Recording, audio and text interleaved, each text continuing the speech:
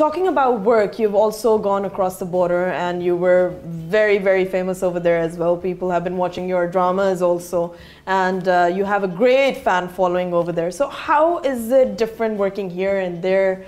Um, you know, also like internationally doing other projects. How do you see the difference working so many years? Uh, Sumim, I am one of those most fortunate actors uh, uh, मैं ये नहीं कहूँगा कि India में काम करना या कहीं भी काम करना जब आप बॉर्डर क्रॉस करते हैं तो उसका मतलब है कि आपकी आपको रिकग्निशन मिली आपके मुल्क से भी बाहर। सबसे पहली मुझे ऑफ़र जिस डायरेक्टर ने की थी वो राजकुमार संतोषी थे।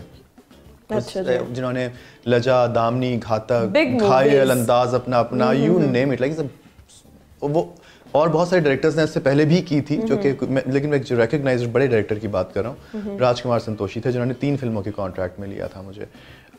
फिर उसके बाद विशेष फिल्म्स महेश भट्ट की तरफ़ से धर्मा की तरफ़ से टी सीरीज़ यश मतलब you name it all Sanjay Leela Bhansali की तरफ़ hmm. से सारे बड़े डायरेक्टर्स के साथ मैंने काम या तो किया मुजफ्फर अली साहब जिनके साथ मैंने जाने सार की या उनकी तरफ़ से मुझे ऑफर्स आई। हम्म, हम्म, हम्म। तो मैं बहुत अपने आप को इस मामले में खुशकिस्मत समझता हूँ कि मेरे काम को एटलीस्ट पहचाना गया और आपकी पहचान आपके मुल्क की पहचान होती है। और अब जो मूवीज़ बनना शुरू हुई वो तो पेंडेमिक एक आ गया है which is like a big big situation world wide keeping that aside जो इतने सालों से पिछले तीन चार सालों से बैक टू बैक मूवीज़ बन रही हैं टीवी छोड़ के लोग मूवीज़ की तरफ़ आ रहे हैं where do you see that culture going इंशाल्लाह।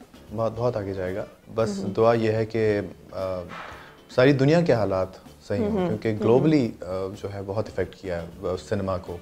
हॉलीवुड से लेके टॉलीवुड सारे सारे वुड्स को सारे वुड्स में आग लग गई बिल्कुल बिल्कुल। तो, तो, तो बस दुआ करें कि सब कुछ सही हो